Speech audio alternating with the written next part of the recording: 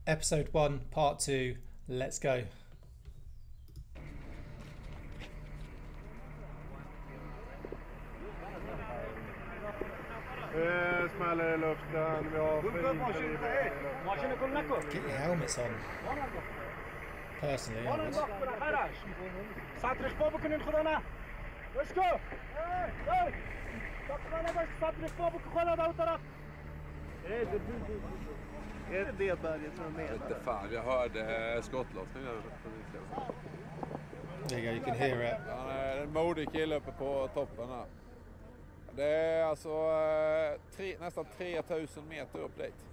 Eh, Kulorna når inte fram. De, de, de kan inte bekämpa oss. Men hur modig han är där, är där uppe så är han inte särskilt begåvad. Eh, eller han är, ska man inte säga, han, är, han har inte har så låg utbildningsnivå troligen så han förstår inte att han inte kan påverka oss. Yeah, and you know you can hit them with artillery fire and more. Skott kommer!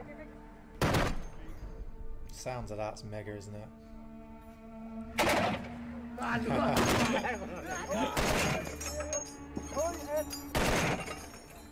Nice 50 cal, isn't it? Bra, skjut mer! Skjut!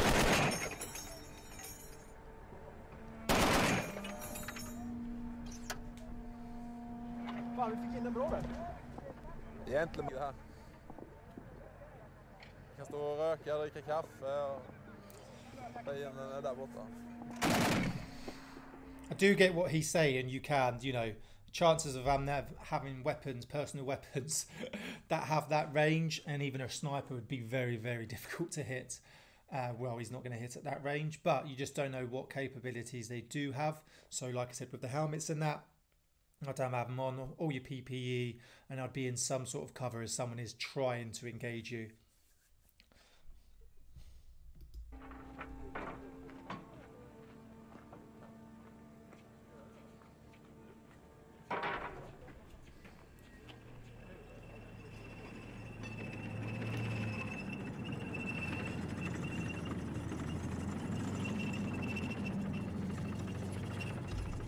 Vad ger det egentligen när vi håller på med? Vad genererar det egentligen?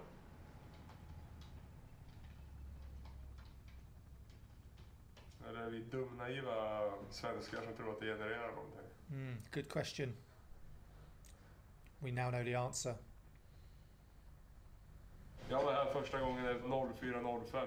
Då kunde vi åka runt obehindrade. Alltså obehindrat i typ hela, Afga, alltså hela norra Afghanistan. Vi åkte runt i obepansrat i eh, liksom eh, eh, civila Teoto. Det liksom, läget är ju inte riktigt så nu. Det känns som att det har liksom gått åt fel håll. You can tell he's struggling with the loss of his friends massively. You know, his colleague. Då tycker man ju att det minsta man kan göra hemma då, det är att presentera en, eh,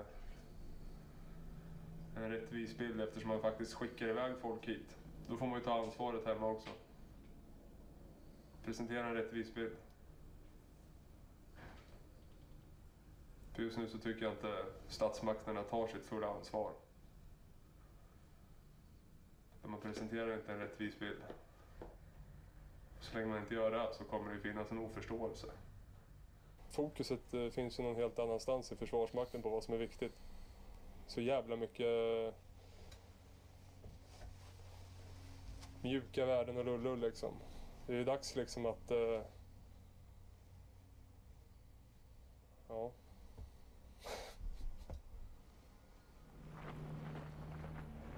Det som inte rapporteras hem det är att vi, eh, vi faktiskt har ihjäl folk på andra sidan.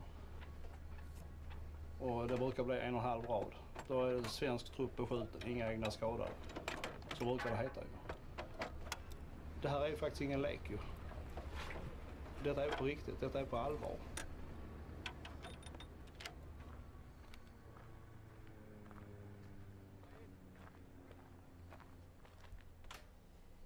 Men det tycker jag också är en sån här sak man inte pratar om så ofta kanske hemma. Alla vill ju vara i strid men det är ju någonting som, eh, som liksom, tycker jag, när man pratar om det i storforum på skolor och andra utbildningsenheter. Det är ju någonting som är lite, något som är lite smutsigt. Något som, är, något som inte är liksom, ja, det, är bara, det är ju ingen som, ingen, det är ju ingen som vill vara med om det. Klart som fan man vill vara med om det. Man vill ju att det ska smälla, man vill ju bli prövad. Det är inget konstigt. Det vill ju alla. Det är ingen jävla brandman som vill liksom hålla på och övningssläcka eldsvådor. Han vill ju släcka ett hus. That is the best thing I have heard in a long time. It's so true. What people don't get and what they do need to talk about more is yes, it's dangerous. Yes, there's a lot of casualties mentally, physically. But we all join the army to do what the army does to go Afghan and do what we did in Afghan. And it's really weird to say because a lot of people like, you know, they are beat up by it. But a lot of us begged to go Afghan. We wanted to go Afghan. When Afghan was kicking off, we joined the army to go Afghan. You know, they be, they say be careful what you wish for, but it's what you wanted to do. You wanted to go into combat. You wanted to fight. You wanted to engage. You wanted to do all that stuff. Uh, it's definitely what I want to do. It's what he wants to do. Um, but the reality of it is sad. It's hard. Uh, and it is very brutal. But you need to build that honest picture and you need to get the people in that want to do that instead of like the British Army recruiting all these gamers who don't actually know the truth of it and who actually don't want to be in combat.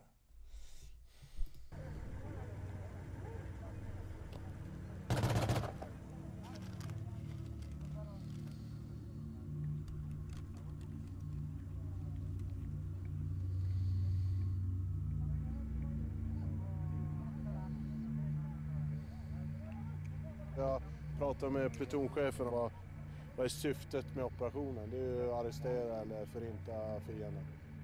Så att eh, när vi ändå har de här så ska man ju, borde man ju försöka trycka på ytterligare. Ja, visst. Vi låg jävligt rätt eh, men eh, eh, plutonchefen vill vi ska skjuta lite mer. Eh, och- Kan vi göra det eller? Vi är överens nu va? Vi vill bomba kullen eller?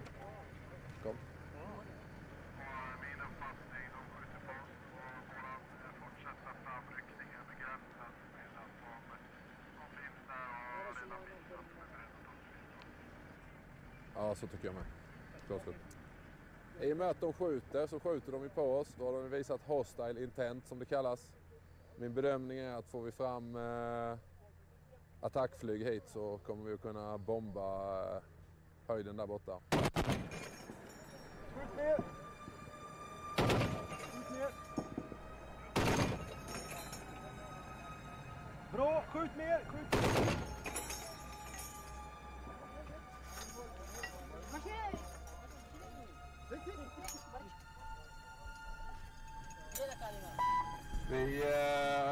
Eh, observerar ju fientlig eldgivning och eh, vi har svårt att få målupptäckt härifrån eh, på grund av det långa avståndet.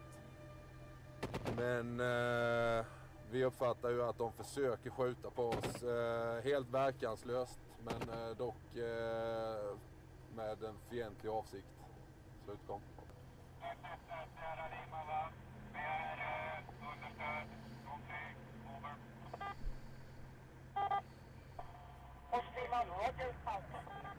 Jag har fått eldtillstånd med flyget nu också. I det här läget så har ju fienden, eh, de har ju inte förståelse för vårt system. Det vill säga de eh, skjuter på oss.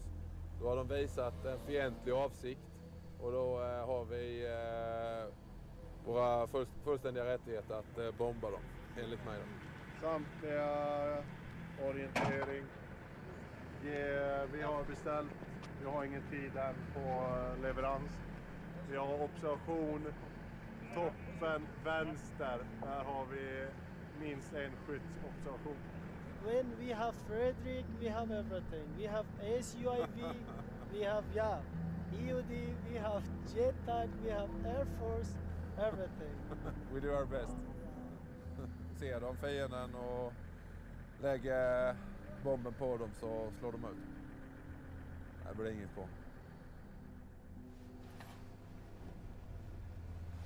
Motståndaren är motståndaren. Det är inga människor som är förvirrade och inte vet eh, vad de ska göra av sin framtid.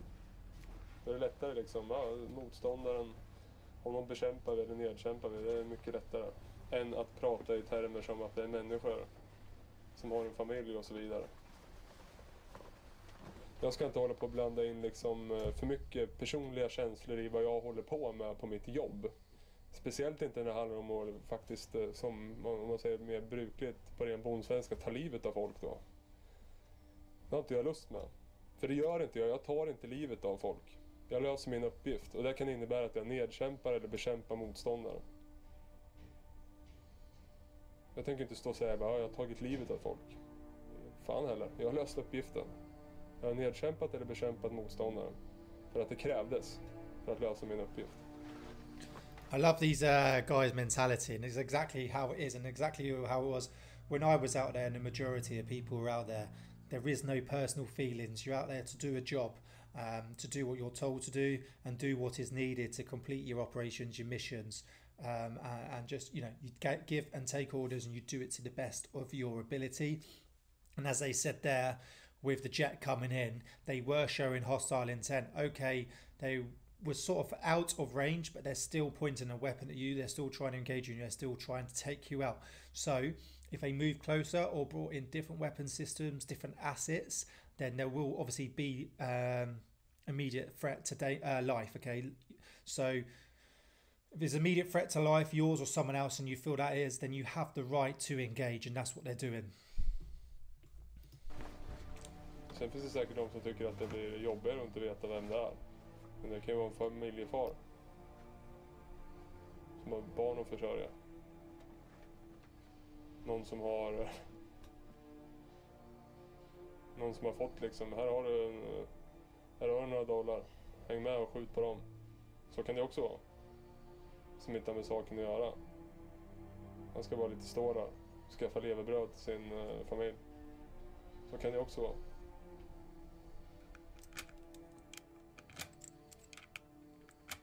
Det lämnar inte en oberörd. Att det tar en annan människas liv ju. Det är, det är någon annan som kommer att sörja där ju. Hur det än är. Även om han är ute i onda avsikter. Enligt vårt eh, tyckande och tänkande.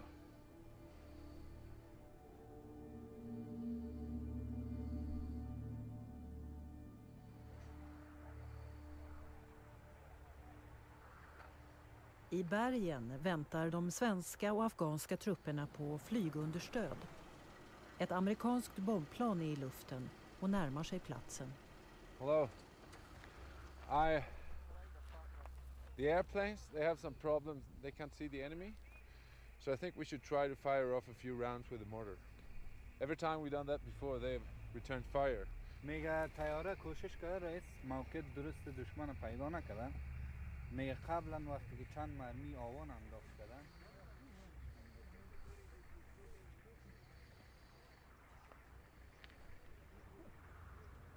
Nu är jag på väg att skjuta GK. Kan se om han eh, gör som han tidigare gjort, det vill säga att han besvarar elden så att flyget kan se honom och att de kan bomba honom.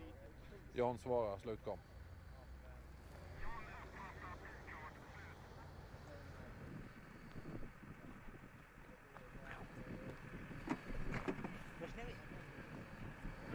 skjuta dem.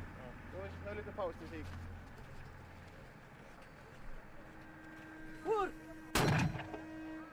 Pausmusik.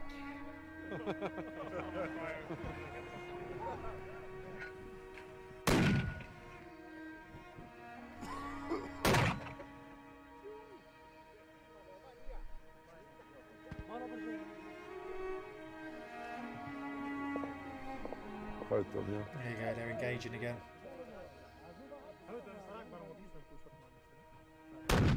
Det är vår verklighet här nere. Vi vet att eh, det dör människor i krig.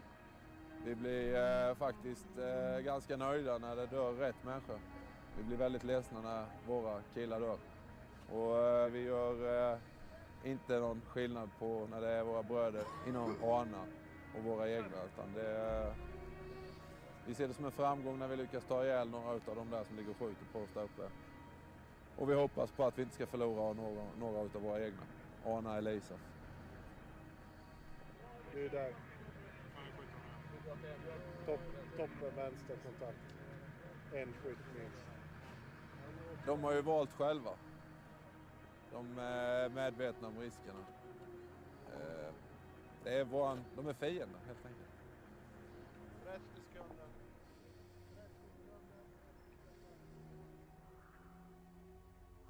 So what they're having the issue here is obviously a jet. Think of it: you're on the ground, you've got your point of view. Um, they're in the sky, seeing it. So one, you've got to talk on. So that becomes very difficult because they're obviously looking at things from the air, so they don't really have a 3D view. Everything looks pretty flat. Uh, and obviously, once they're higher up, obviously they're also higher up. So depending on what sort of systems uh, and capabilities they have on board to be able to see. Normally they use sort of thermal, some sort of thermal, um, and if he's if he's dug in in good sort of cover, he's obviously going to struggle to see him from the air. So now they're trying to talk him onto the target with mortar fire, so then they can open fire. Uh, the enemy will engage, and then you should see some sort of flash. But what you've got to remember, if you're looking to join the army, you want to become a JTAC, Joint Tactical Air Controller. I'm not sure if that's what they're called in Sweden when you want to control, you know, Apaches, fast air jets. Remember, when you're talking on, you've got your point of view. There's no point going, I can see a pylon or a building or a mountain. This you've got to do talk them on with the map from their point of view, not yours.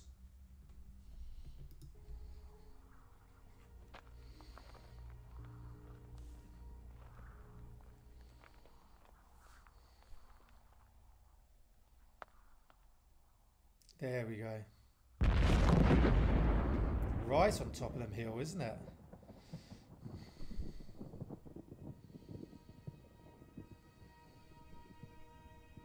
Shows how big that mountain was. Ja, då tar vi väl lunch då. Simple as that. Have some food. You're not going to go all the way up there um, to do a battle battle um, damage estimate, uh, battle damage assessment because too Vad kan det vara far. alltså? En 30 till 50 skott sammanlagt. Blir han träffad? شو ما بخاطر يعني انا بدي كان عندي عمليات بيجي انا بدي تشهد شوف ساسرة مردومة متجددة زنات فيك مجي مروسية مثلا ما تقول فيك تبلكات تركولات ديكنانات كل مردوم كارمي برا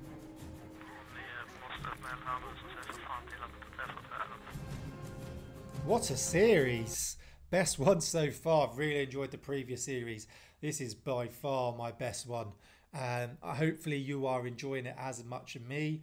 Uh, I'm trying to break them down into smaller chunks so that they're easier to watch. So we do majority of episodes most probably in two parts, like I have done in this.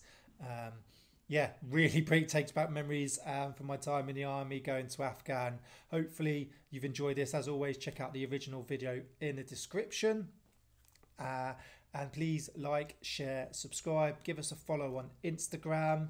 And if you could check out our merch and our coffee over at combatreadyhq.co.uk. But this really shows the reality of what people went through um, when they was in Afghan. Um, you know, it was tough. It's brutal. The, the mentality you have to have, how you have to look at people, how you have to think, uh, what you go through when you lose a colleague, a friend. Like it is mental, um, physically and mentally. The lack of sleep. You know, you don't have your sort of comforts, your home comforts. You're living out on the ground. You're constantly in uniform, body armor, helmet. It's 50 degree heat. Like you're getting engaged. It's tough, and this is really showing it. And I love this, and I can't wait for episode two. Hope you enjoy it as much as I can, and I'll see you soon.